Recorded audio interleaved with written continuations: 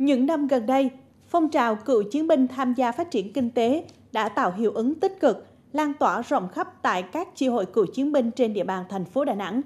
Với nhiều mô hình hay, cách làm thiết thực, mỗi hội viên cựu chiến binh có những cách làm riêng không chỉ phát triển kinh tế gia đình mà còn giúp nhau vươn lên thoát nghèo, nâng cao chất lượng đời sống. Ghi nhận của phóng viên thời sự Đà Nẵng TV tại xã Hòa Phước, huyện Hòa Vang. Nằm trên địa bàn thôn Cồn Mông, xã Hòa Phước, đây là xưởng sản xuất gạch không nung do cựu chiến binh Hồ Văn Biết làm chủ. Ra đời và hoạt động đến nay đã gần 15 năm, ông Biết chia sẻ đây là mô hình được ông học hỏi kinh nghiệm từ một chuyến công tác tại Hà Nội. Nhận thấy được tính ưu việt của mô hình và đặc biệt là tính thân thiện hơn với môi trường so với cách làm gạch đắt nung truyền thống. Cựu chiến binh Hồ Văn Biết đã tìm tòi thêm các phương pháp kỹ thuật để bắt tay triển khai mô hình này ngay tại quê hương mình. Đi ra Hà Nội, tôi mới thấy là gạch không nung này là ở ngoài bác Hạ Long rất nhiều thì tôi mới thấy một cái tư duy cũng phục vụ bà con mình rất tốt.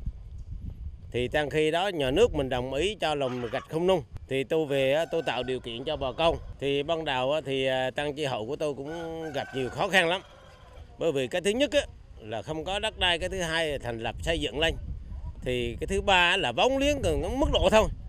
À, thì à, tăng chi hội chúng tôi cũng cũng bàn mùa gió khắc phục để xây dựng tạo điều kiện cho mọi người để có công an việc làm. Đi cùng với tốc độ đô thị hóa, diện tích đất nông nghiệp bị thu hẹp, nhiều hộ dân tại thôn cùng mong đối mặt với bài toán chuyển đổi ngành nghề thì chính xưởng sản xuất gạch không nung của cựu chiến binh Hồ Văn Biết đã góp phần tạo việc làm, thu nhập ổn định cho lao động tại chỗ. Trong đó, đa số là các hội viên cựu chiến binh có hoàn cảnh khó khăn. Còn đây là mô hình nuôi gà thả vườn của cựu chiến binh Lê Kim Hùng tại thôn Trà Kiểm, xã Hòa Phước. Ấp ủ dự định đã lâu, đến khi về hưu, cựu chiến binh Lê Kim Hùng đã mạnh dạn đầu tư chuồng trại với số tiền hàng trăm triệu đồng để nhân giống và chăn thả đàn gà thả vườn hơn 400 con như hiện nay. Một năm thì tôi ờ, nuôi được là từ 3 lứa đến 4 lứa. À, như vậy cái ờ, sản lượng thì à, một lứa như vậy là khoảng uh, từ 500 đến 800 con gà. Nếu mà trừ các cái chi phí ra thì một năm lợi nhuận đem lại thì khoảng là Ờ, từ 50 triệu đến ờ, 80 triệu.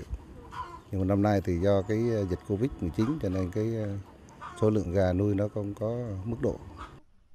Thành công bước đầu từ mô hình nuôi gà thả vườn, cựu chiến binh Lê Kim Hùng nhận thấy tại thôn Trà Kiểm, nhiều hộ dân có những khoảng vườn trống với diện tích lớn thích hợp để triển khai mô hình này, nên ông Hùng đã tận tình chia sẻ kinh nghiệm, cách làm cho bà con nơi đây, góp phần giải quyết lao động tại chỗ.